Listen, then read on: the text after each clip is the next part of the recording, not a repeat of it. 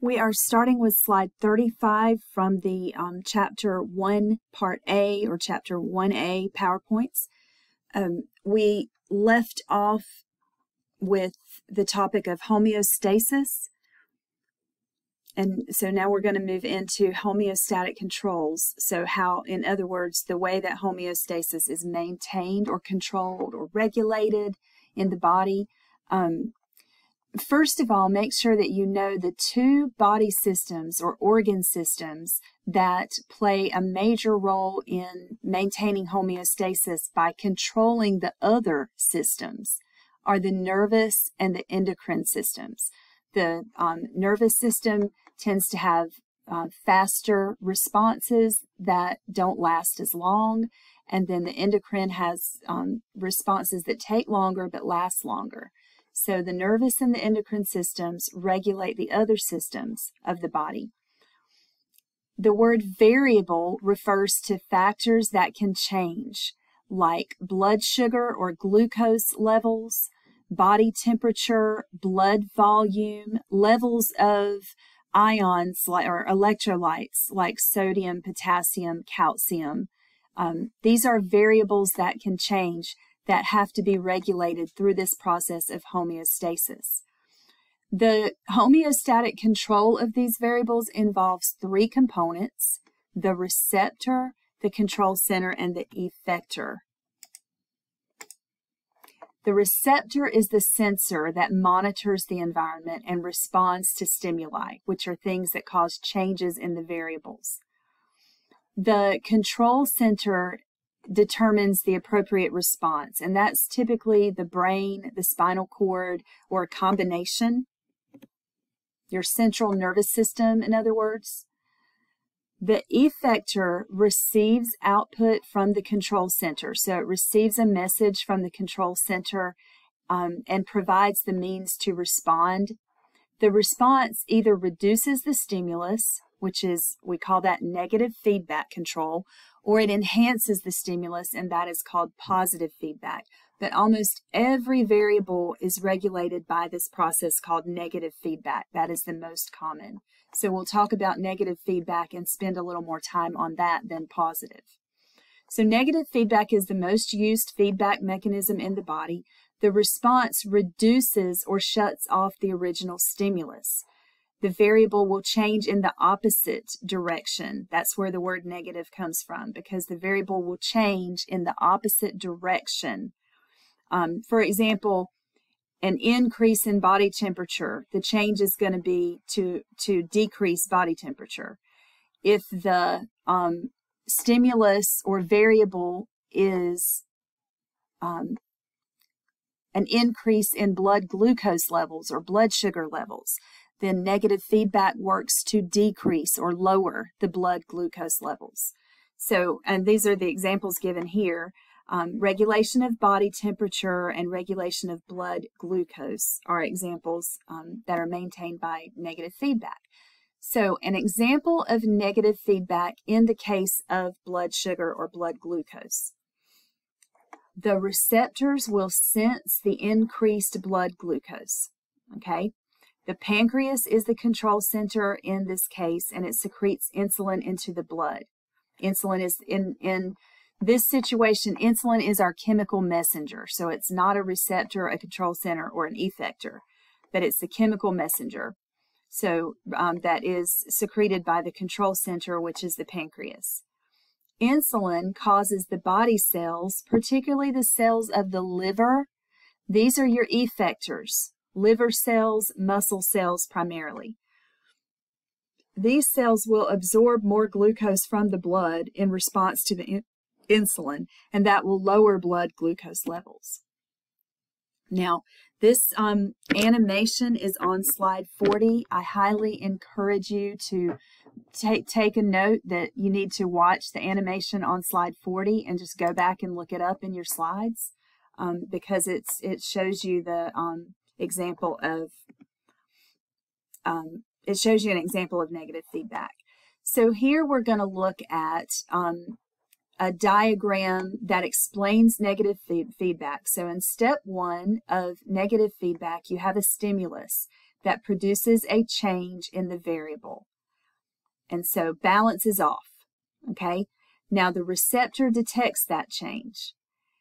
And then step three, the input step, information is sent along the afferent pathway of the nervous system to the control center, which typically is the brain, somewhere in the brain, or the or the spinal cord. And then um, the afferent pathway, by the way, is like another way of saying the um, sensory pathway. So this is this is the pathway of um, sensory input to the brain and spinal cord, typically. Step four is the output step. That's where information is sent along the efferent pathway to the effector. In the efferent pathway, we also call that the motor pathway, and that is the response pathway. And step five is the response. The response of the effector feeds back to reduce the effect of the stimulus and um, returns the variable to the homeostatic level. So um, it balances the conditions out again. So if whatever the variable is, if levels of that variable or if that variable increases, then um, the response of the effector is to decrease it. So now what we're looking at is the whole picture because um, now we're going to look at this situation in response to body temperature. So body temperature rises, that's our stimulus. Receptors are temperature sensitive cells in the skin and the brain. The control center is actually the hypothalamus in the brain. It says the thermoregulatory center in the brain, and that's actually in the hypothalamus. So the control center sends the information to the sweat glands. This is just one of the responses to um, rising body temperature. So it causes the sweat glands um, to become activated, release sweat, and that's the response is uh, the evaporation of sweat leads to the body temperature falling. So the response is opposite of the stimulus, of the initial initial stimulus, and that's negative feedback. So what if the stimulus is that the body temperature falls, the person becomes colder? Well, the receptors are the same. We have receptors in our skin and our brain that, uh, that send the information to the hypothalamus or control center. Then the control center sends information to our skeletal muscles to cause us to shiver and that's that response is that the body temperature rises, um, which is opposite of the stimulus. So this is just one example of negative feedback. Many, many conditions are regulated by negative feedback. Positive feedback is different because in positive feedback, the response enhances or exaggerates the original stimulus. Instead of opposing it or um, negating it, um, the response is to increase that stimulus. So some examples of positive feedback are labor. Uh, labor contractions are enhanced by oxytocin. So when the contractions begin, oxytocin is released. The contractions get stronger, more oxytocin is released. Contractions get stronger, you don't see the increasing contractions and then oxytocin's released and that decreases the contractions. If you've ever known anyone, if you've ever been in labor or known someone who's been in labor, um, the contractions don't decrease. They get stronger, stronger, stronger, stronger until the process is over, which is the birth of the baby. So that is how positive feedback works. In blood clotting, it's the same thing. When you're injured and your um, blood begins to form a clot, it continues to, um, the clotting process um, is enhanced or increased until the clot is actually formed and, and the bleeding is stopped. So um, that's another example. And another example is uh, milk production, uh, lactation. That's another one. So this is how um, positive feedback works in blood clotting. Step one is there's a break in the wall of a blood vessel. This initiates the positive feedback cycle. Step two is that platelets adhere to the site and release chemicals. And then um, step three is that the released chemicals attract more platelets. So you have you have uh, Clotting factors released, more platelets attracted. Clotting factors released, more platelets attracted. Over and over and over until you finally have a platelet plug formed. And so it's just increasing the initial um, response until the process is over. That's positive feedback. All right, so when homeostasis is disturbed, this is our last slide, I think. Yep, it's the last one for this um, for section 1A. Then we'll move on to 2 to section 1B, sorry. So when homeostasis is disturbed, this can increase the risk of disease. It contributes to the changes associated with aging. Um, when as we age, our control systems become less efficient. And if negative feedback mechanisms become overwhelmed, destructive positive feedback mechanisms may take over. For example, heart failure, kidney failure, that kind of thing. So we have to maintain homeostasis to stay healthy. Now, this has not been 15 minutes, so I'm going to end this show. I'm, I'm going to go on to the, um, the slides actually, I can just go to our class. Okay, so I'm going to go to slides um, 1B. And what I'm doing here is I'm choosing the first one because I, it's always like I, I put two, two slides, I'll post two set, sets of slides. Okay, so 168 chapter 1A, this first one is the PowerPoint version, and then below that is the PDF. And then this is chapter 1B, the PowerPoint version, and below that is the PDF. Okay, so I'm going to go choose the PowerPoint version, and we're going to start with chapter 1b, which is not long at all, so hopefully we won't have a whole whole lot more of recordings to do.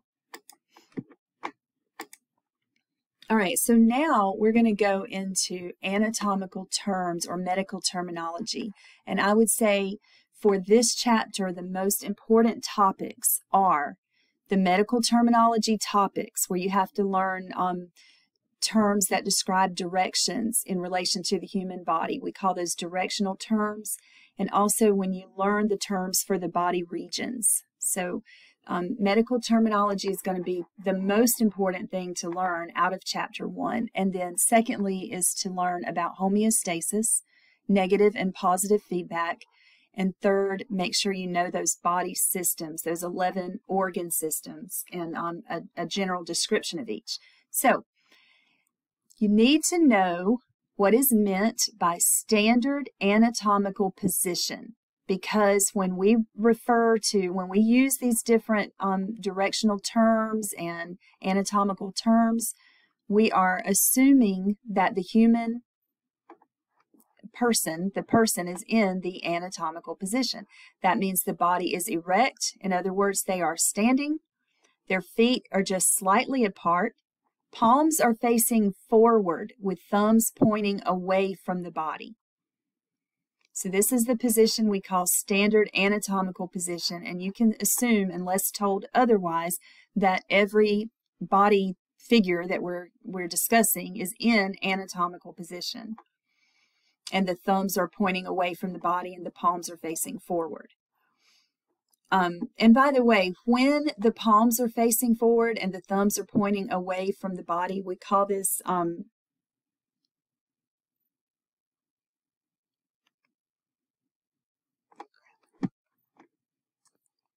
So when the palms are facing forward, the word for that is supine or supination. When you turn your palms to face forward, um, that supination, if you turn your palms down, the opposite direction is called pronation. So in the anatomical position, you have your um, palms or your arms are, are um, supine or in they're doing supination okay? We'll talk about that a little bit more. Directional terms describe one body structure in relation to another body structure. So direction is always based on standard anatomical position. You assume that your your um patient or your um, person is in the standard anatomical position. Right and left refer to the body being viewed not right and left of the observer or the page if you're looking at a page in a book, for example, or slides, you know, when we're talking about the slides that we're going through. So table one um, is, is going through all of these directional terms. One of the terms is superior or cranial, and that means toward the head. An example of how you would use that, the head is superior to the abdomen. The next term is inferior or caudal, and that means away from the head or toward the lower part of the body structure, or uh, body, I'm sorry, toward the lower part of a structure or the body. Um, so inferior, so you could say the navel is inferior to the chin. Then we have anterior or ventral, which means toward the front of the body, in front of. An example would be the breastbone is anterior to the spine. And the um, term posterior or dorsal means toward the back of the body or behind. And we would say the heart is posterior to the breastbone or sternum. The breastbone or sternum is anterior to the spine. That means it's in front of it. The heart is posterior to the breastbone or sternum. That means that it's um, the breastbone is in front of the spine, the heart is behind the breastbone or the sternum. Okay, then we have medial, which means toward the midline of the body, and you could say the heart is medial to the arm, or you could even say the heart is medial to the lungs. Lateral means away from the midline or on the outer side of, so the arms are lateral to the chest. Intermediate means between um, a medial and lateral structure. So the collarbone is intermediate between the breastbone and the shoulder. Um, let's do another one. What is something that's intermediate between your nose and your ears? intermediate between your nose, which is medial, and your ears, which are lateral. Intermediate would be your eyes. But actually, where I've seen that used the most is like, for example, when you're naming muscles, um, there are three muscles in the um, the thigh muscles. They're called the vastus medialis, the vastus lateralis, and the vastus intermedius. So the vastus intermedius is between the vastus medialis and the vastus lateralis. And um, that may be a little more than you wanted to hear right now or can, can take, you know, right now in the beginning of the course, but it's just, um, it's a way to name uh, body structures like muscles and nerves and uh, blood vessels, and it'll help you remember them if you know what they mean. Um, okay, real quick, proximal, and actually, you know what, we're running out of time on this recording. I will come back, and this will be our first topic, will be the terms proximal and distal, because they can be um, a little bit challenging. So we, we will start with slide number five of um, the section 1B.